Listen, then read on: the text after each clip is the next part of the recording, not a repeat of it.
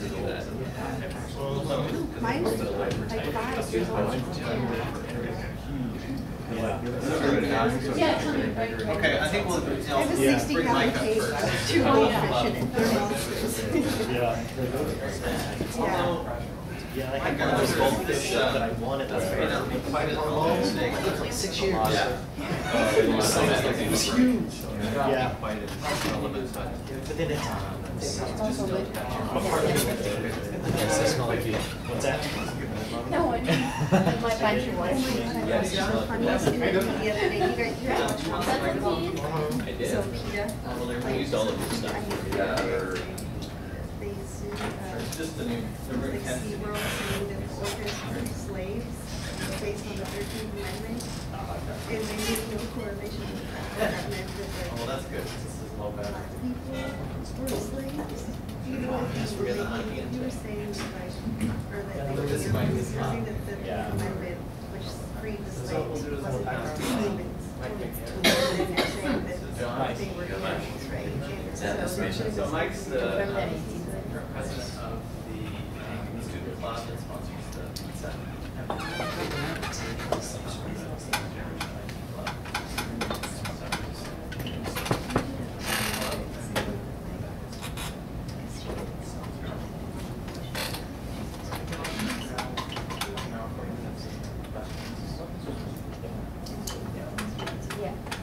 All right, well, welcome everyone. Thanks for coming out today. Uh, we are uh, excited for the to hear the speaker today. Uh, and before we get uh, to Josh, let me bring up uh, Mike McGinn from the Next Generation IT Club. Um, this is the club that sponsors the pizza after the event. So um, I think that in itself deserves a round of applause. That's also going to tell you about the club, what the club is working on currently, and um, how you might want to get involved. Well, I see a lot of new faces. Thanks for coming over and uh, checking us out. This uh, is a great speaker series. And uh, the Next Generation IT Club is the campus club for folks that are interested in information technology, web design, robotics, uh, and anything related to that. Uh, and we have meetings on Wednesdays from 11 to 1 p.m. over in CC 3234. So you're all welcome to join.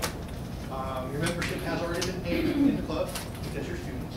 So you're, you're wasting your resources if you don't take advantage of it. um, a couple of good events we have coming up are the uh, Spring Tech Fair, uh, May 18th. Um, we'll be having that after the uh, speaker series that Friday from 1 to 5.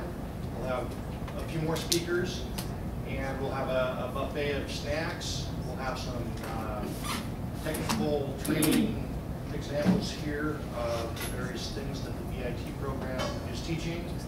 We'll have a student slideshow of projects that have been completed. So all students are invited to submit a, a screenshot or a uh, slideshow presentation of any project that they've completed. So especially some of your projects that you're working on to a, a uh, a PowerPoint. We'll put that into a, a rotating PowerPoint that'll, that'll be going on. And then uh, Linux Fest is coming up, uh, May, April 27th, 28th, 29th, and we'll be going to Bellingham. We have uh, uh, 15 seats available in the van. Uh, We've got eight filled so far, so if you want to go with us, let us know. Um, Quickly, uh, if we have more people interested in going, then we have seats available. We'll be holding a lottery to see who gets to go. Um, Your hotel, food, and transportation back and forth to Bellingham will be paid if you are- are are a winner of the lottery, if there's a seat available that you want. Uh, With that, um, you can visit our website at tngitc.com and get links to all of our projects that we're working on. Thank you. And I'll turn it back over to Brian to introduce our speaker. All right, and um, let's again. So as you see, Josh McDonald is our speaker, and uh, Rebecca's going to come up and, and introduce him. Um, have you all met, Rebecca Cooper, uh, our internship coordinator here? If you haven't met her, do, because she's a great resource um, that can really help in that transition from the coursework that you're doing, the studying that you're doing, to that job placement um, via the internship process. Thanks, Brian. Well, I have the esteemed honor today to introduce Josh McDonald, but he's our first TSP speaker in the Career Speaker Series, so you're a pioneer. The pressure, exactly. So uh, Josh's background includes getting his undergraduate degree in architecture from WSU, and then he went on to get his master's in architecture at WSU. He's worked in the profession for seven years here in Seattle at two different firms. The first six were spent at Ti- Tiscareno, You got it. Associates. It's- a small architecture firm that specializes in master planning, mixed use. Most recently, he moved to Weber Thompson, where he's currently working on mixed-use residential buildings. Josh is also involved in ACE, or ACA, which is a mentorship program for high schoolers who are interested in architecture, engineering, and construction. So, Let's welcome Josh McDonald. Wow, she stole all my gusto. I was gonna, gonna talk about myself all that kind of stuff. Um, so anyway, so yeah, so who who here is in or has worked in the construction architecture industry? Wow, okay. Yeah, I I- see you have. Okay, quite a few. All right, cool. So you have a general understanding of what uh, what we do in architecture and that kind of stuff. And I guess I'll step back and just, I will talk a little bit about myself in terms of um, moving to Seattle uh, from Pullman, and, you know, I've got to do this. So I was over there for a good, a good six years and put in some good time there. Um, Learned a lot, and, uh, you know, uh, had some good experience doing some internships with um, some firms back in Olympia, which is but, um, you know, I had, you know, my first six years had a great opportunity to work for a really small firm. There were two to three people um, when I first started. We grew to about seven people. Um, and, and one of the benefits and one of the reasons why I looked to work for a small firm was I knew I was going to get that opportunity to jump into, you know, a project manager role, or just a leadership role uh, in the design process. So, uh, you know, this, this project here is, is an example of a project I worked on in um, West Oregon, or East Oregon rather, in uh, Prairie City. Middle of nowhere, but it's a, a ranger district station. Um, and then this is another project uh, in Seattle, uh, which is a mixed-use project, apartment up on top of Queen Anne. And, you know, both of these projects were, um, I think that it was unique for um, somebody to put somebody like myself in that role, coming out of school, not knowing hardly anything, and then saying, okay, here's a design, go. And uh, there's a big learning curve, and so uh, that, that was a really good opportunity for me to go from the small firm, take what I learned to move on into uh, working for Weber Thompson. And so this is uh, this is actually the, building where I where Weber Thompson resides. Uh, we're in South Lake Union. Um, we are a multidisciplinary architecture firm, do architecture, landscape, master planning, um, interior design. And we are right in South Lake Union, right amongst uh, all the Amazon growth and everything, and it's insane right now. All the construction is happening. Uh, it's, it's really neat to see, and especially the, the light rail to go from, or street car rather, to go from nothing, hardly any use to actually, I mean, it's packed. It's packed every day, which is really cool to see. Um, so, you know, moving to Weber Thompson was, was a great, great thing. Um, they started, you know, in Seattle and went from basically a forty person firm and then during the heyday up to hundred people. And then during the downturn back down to 25. So, um, and that, and that happened a lot uh, all throughout the, all throughout the architecture, structural, like one, you know, the entire uh, development community. So now we're extremely lucky in that uh, we're basically focusing on apartment mixed-use projects, and that's what a lot of what's being built right now. Uh, go anywhere in Seattle, you'll see cranes, and none of them are condos, they're all apartments.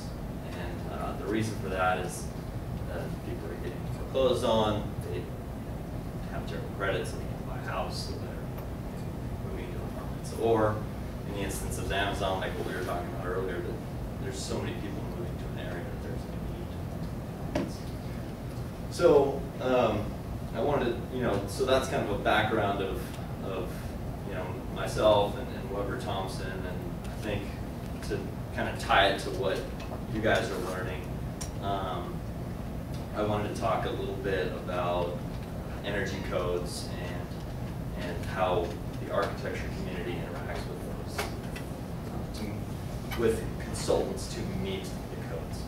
And um, I'll use an example of a project I'm currently working on. Um, It's in Redmond, it's a type five, which type five construction is wood frame. Uh, So it's five floors of type five wood frame construction over one level of type one, which is concrete construction. And basically, the, the first floor is the retail, non-residential use, and the, the five floors are residential. So what, what we'll do is actually work through and figure out all our floor plans.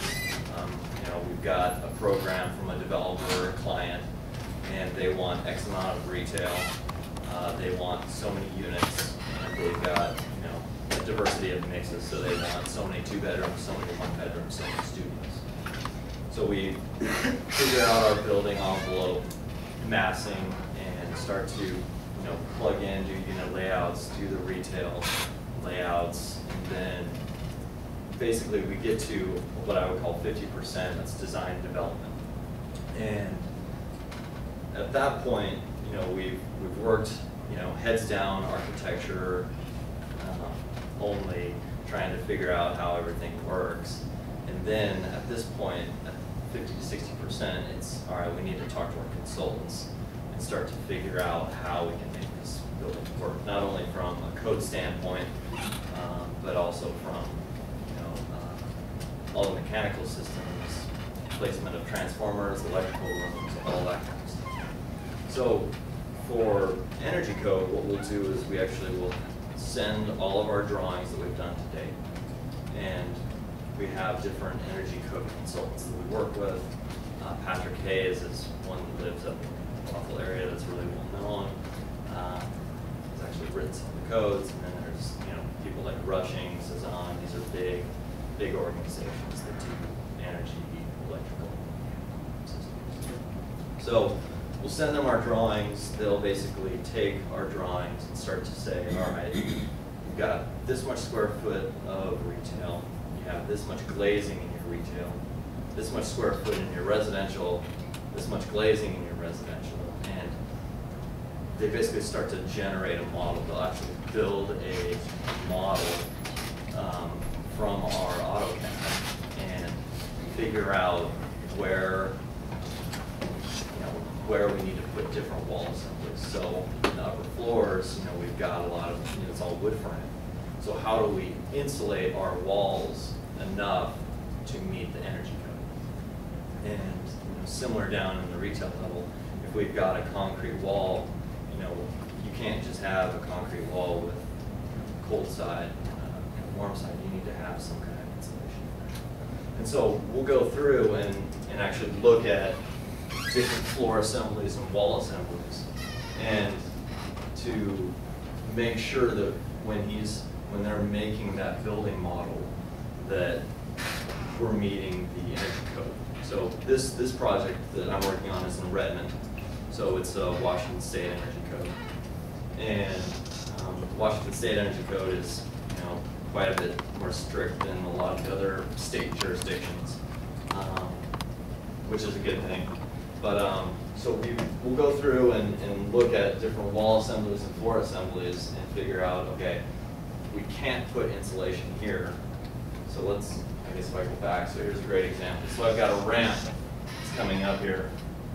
And I can do, I can do so much, you know, R twenty-eight insulation, which is a thicker insulation at one point. But as you come up the ramp, you have limited head height here, so you actually need to have a thinner insulation. So you've got an R twenty-eight at this location, and an R twenty-eight at that location. So what's the difference? It's, it's a thinner profile insulation, it's more expensive. But it's necessary so that we can, cars can egress, that kind of stuff.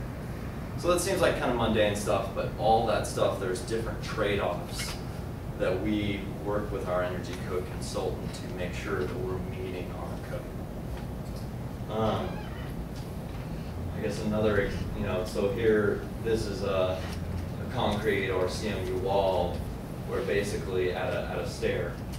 And we're having to add some rigid insulation in here because the garage is essentially a cold space, the stair is a, a heated space.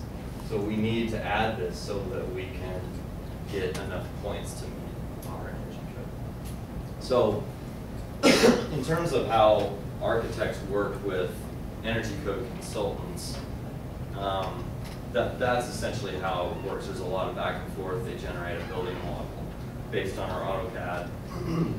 And, and then we start to figure out, okay, we need to add a thicker wall here because the insulation isn't fit otherwise. So, um, there's, there's a couple, there's basically five different, um, five different tiers for the energy code.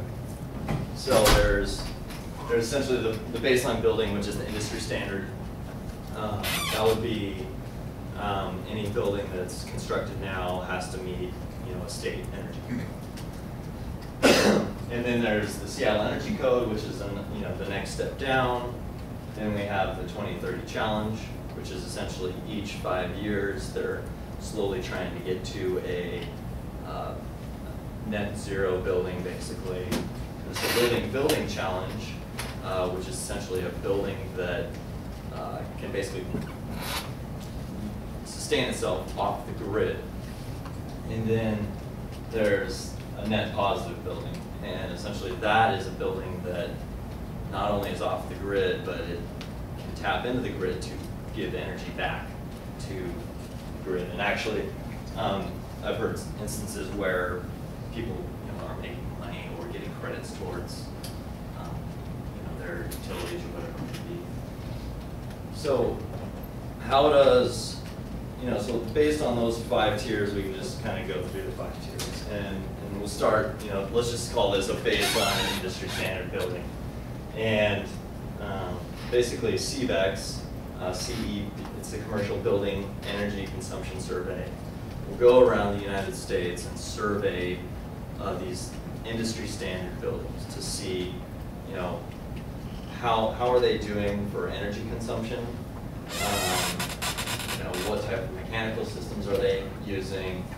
What type of windows do they have? It- You know, all that is starting to impact, uh, you know, loss of heat and energy essentially from the building. And so CBECS will go through every three to five years, depending on the funding, of course.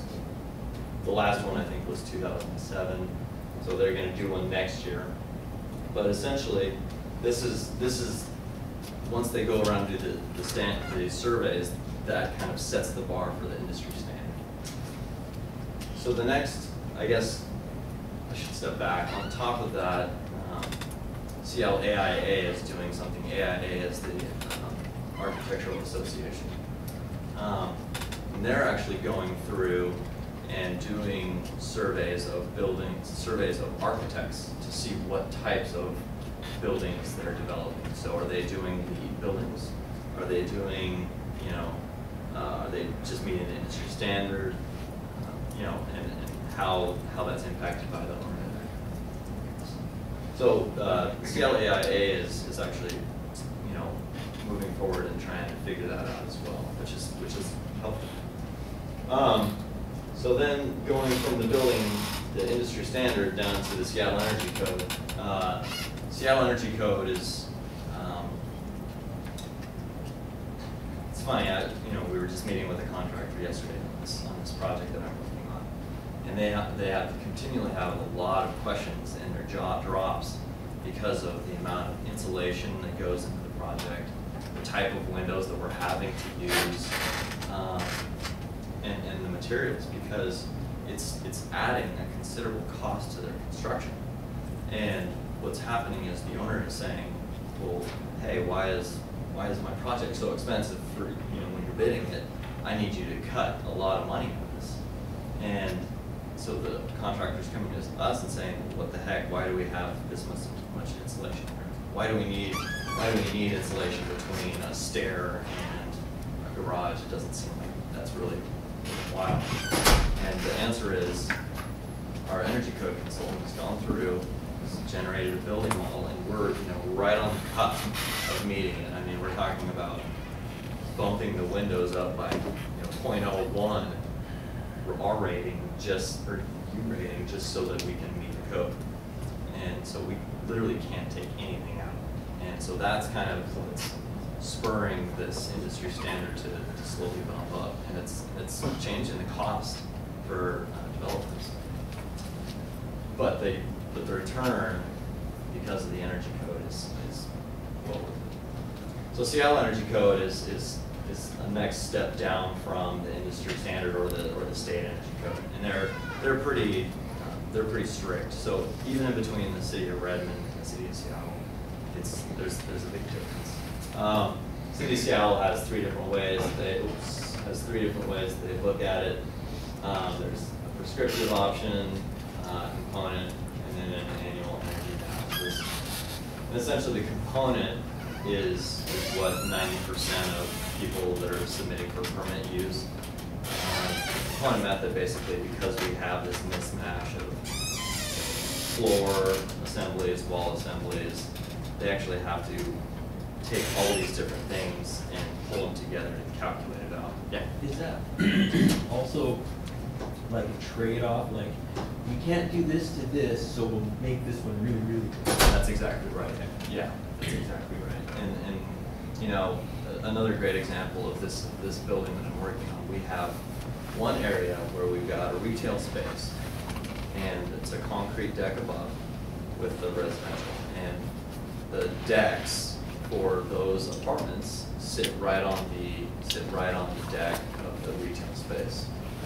So what the energy code is saying is, okay, we basically got an exterior deck space from the apartment level, which is concrete, down into the retail level. So there is cold that's bridging the concrete into this warm space. So we're actually just adding insulation in an area, in one area where these decks are over the retail space to meet the requirement. I mean, it seems really silly, and a lot of these things, you look at it and it just kind of doesn't quite make sense. And that's, that's one thing that's changing. Another great example is, um, where we've got, you know, a concrete wall and you need to put insulation in there, basically, we'll use a metal stud to fur out the wall and put the insulation in there. Well, the metal stud actually bridges the cold from the concrete into the warm space. So then the code is actually changing to make that more difficult. So you'll have to use a, a wood, a wood stud as opposed to uh, steel. Yeah. Um, you were talking a few minutes ago about the glazing and maybe adjusting the U factor. Is your firm doing anything to actually encourage people to reduce the size of the glazing? Since that is the majority of your loss in space or gain? It, my first answer is no. Okay. Um, I guess an example, um, is, you know, in an apartment, you want as much light as you can and these apartments are so deep now. Um, some apartments that I'm looking at right now, call them open one bedrooms. So basically, they're, it's like a studio, except they're really long, and they have a, a cubby hole for a bed, basically, that's back in the unit. And so, you know, when you've got a thirty-eight foot deep unit, you really need to try and get as much light, natural light in there as you can. And, uh, it's really, it's really interesting. And Some of these units are, 550 square feet, and uh, that's becoming industry standard uh, for a lot of apartments. Um, the average, the average used to be about 700 to 750.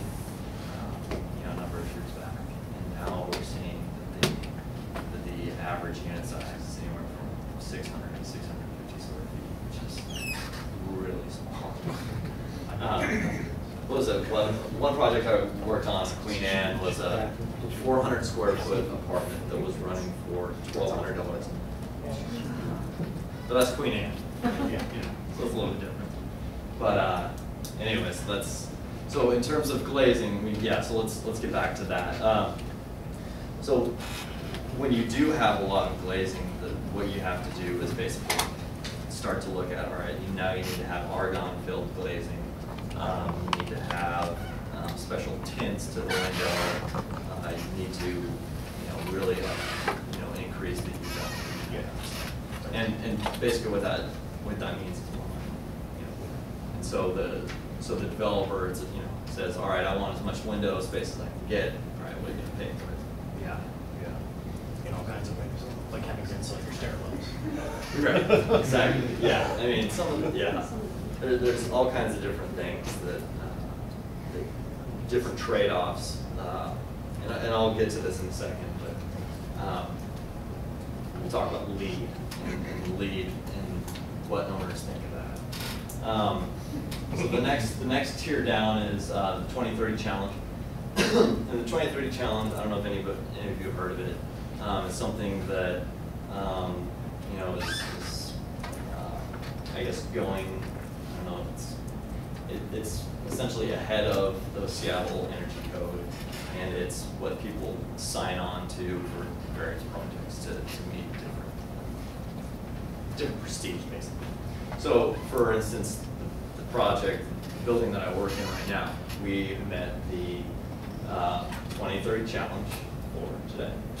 Uh, we are sixty percent um, and each, every five years, basically, that, you know, is gonna change, so the, the goal is that we'll be carbon neutral uh, by twenty thirty. That building will be carbon neutral? No, Like, no, so, just- no, just in- industry construction Like, would it be like standards. every five years? Yeah, upgrade? no, no, no, yeah, so, so we're basically meeting it for today. Um, in, you know, by twenty fifteen, if you wanna meet the twenty thirty challenge, then your requirement is to be set. So the product you'll be building during that twenty fifteen? Yeah, exactly. Crazy expensive. Yeah, Yeah. so it's, it's, you know, it's getting extremely expensive and, and, you know, the Washington code, Seattle code are slowly getting tougher and tougher because the industry standard is changing. So that baseline building that I talked about a little bit, you know, that, um, is, you know, the industry standard is, all right, we need to use this type of insulation, we need to use these different materials, and so that's slowly, when, when CVAC goes back through and does their surveys, I think they're gonna find that newer construction is changing and actually becoming more sustainable and carbon neutral. Um, just, just, just purely by, you know, industry standards.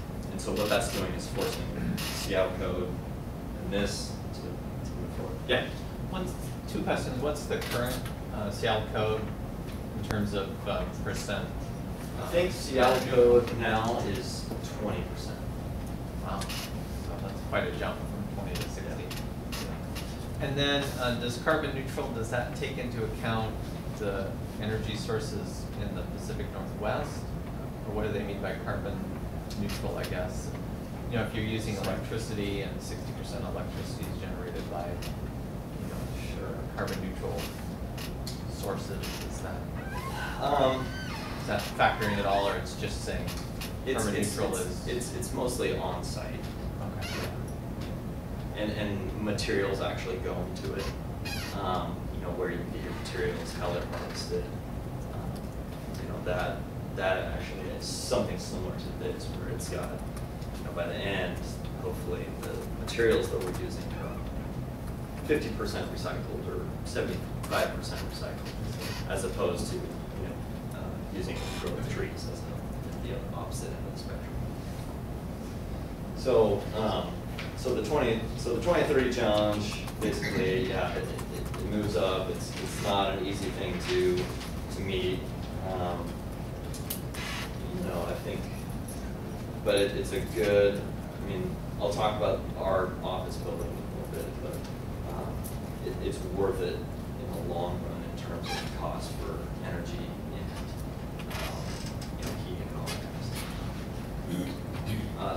so, this is, again, this is just the, the building uh, that we got the, the challenge. So, um, I guess I'm not supposed to talk about since it's here. Um, so this building, basically, there used to be a project, there was an old, old warehouse that's out on the site. Pearl Jam used to practice at this site. Um, they were all old, old, uh, old warehouse on the site. We had to knock it down to, to build this. Uh, ninety-five percent of the, um, construction, the demolition was able to be recycled. Um, not only by just recycling materials in terms of, uh, you know, using the wood for compost or, uh, wood chips, anything like that, but actual Pearl Jam fans coming.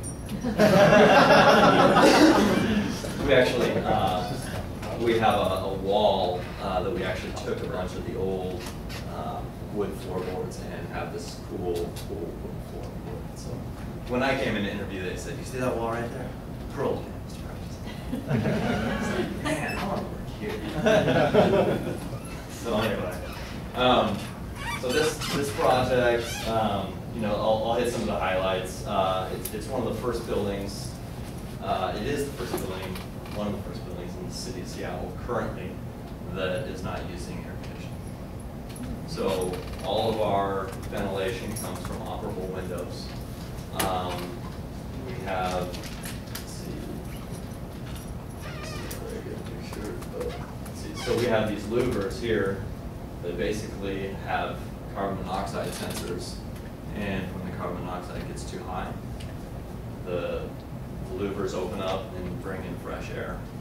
Um, I've actually been sitting, sat in meetings where, um, sounds like it's really where he goes, he goes, and I didn't, I didn't know what the hell it was. And they finally told me that it was the louvers. And it's, it's amazing, you know, you'll be sitting in this room and you're getting hot and the client's drilling you, and then you hear the, and it's like all the, you know, the fresh air comes in, and it's, it's great. It really is, it is amazing.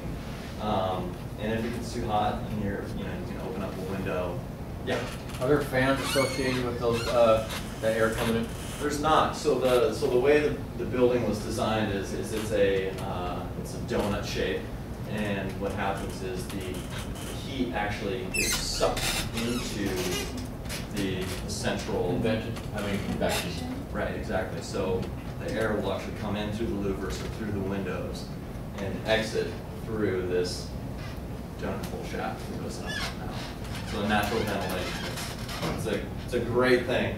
Um, you know, some of the other highlights are, um, when it gets too sunny, these automatically, these sunshades automatically come down and will open and close according to how bright it is. Um, the, all the toilets and urinals are, you know, low, no flow basically, toilets. Um, we use thirty percent less water by doing that. Um, I, so this is, this kind of pertains back to the, the energy code consultant and building the model. Um, you know, for this project, we wanted to make sure that we were gonna be okay without having AC in the summer. And when they went through their model, they basically determined that, you know, for eighteen to twenty hours, the temperature will climb above eighty degrees in the facility. That's over the entire year. So that's, you know, very, you know, very distinct days, times where that is gonna happen. And basically, the, the platform of the office is, if it gets hot, just wear shorts that day. Open the windows, get the, the- um, in terms of heating, uh, we've got a, it's a hydronic, uh, hot water heaters, and you can see them here. To next one. So essentially, these, these heaters right here are right next to the windows, so, um, you know, when these are closed, and a lot, you know, we lose a lot of heat gain from the glazing, you know. And so it's important, you know, all these uh, heaters are located adjacent to the windows, so it's coming into the heating space. Um, this, this building is unique, um, in the, for the city of Seattle, if, if you were to do the component versus the, the building model, so those are one of those two options. Um, the, the component works for this project because we can cheat, because we can do insulation in certain places, and we can increase our, um, shading and all that kind of stuff. Um, whereas the building model will look at it and say, all right, we've got these louvers up here. Those are leaking cold into the space. Not very much, but the model will basically designate that and say, all right, we've got an issue here, how are we gonna fix it? So that's one of the issues with moving from the component or prescriptive where you're actually, you know, writing, figuring out the energy code as opposed to presenting an actual building model to a city jurisdiction. The, city will say, all right, well, you're losing a lot of, you're losing a lot of heat right here. Why is that and how are you gonna meet it? So it, it's, that's one of the, these things, is the energy code is changing, um, how we get permitted and that kind of stuff is, yeah. On those heater units you're talking, you've got in there, Mhm. they look like the old radiators right. stuff. Now, are those more efficient than having a baseboard system, uh, for or what? Um, so, so basically, the, the baseboard uses electric. No, I'm talking about the water. baseboard. Oh, okay, okay. Um, I don't know, I don't know. I, I just know that these are strategically placed throughout, you know, the, the floor plan. Okay. Um, spaced, spaced for that specific unit. Um, I guess, and then also, you know, you can see, there's a lot of, uh, louvers, or, I mean, sunshades. Are those movable? These are not, no, these are actually, um, ba- the angle of these are based on the trajectory of the sun as it comes across. And those are all things that, you know, we look at very, at the very beginning of the project. Um, so what next? Let's see. Oh, okay. Um, okay, so then, so, so that, so there's the twenty,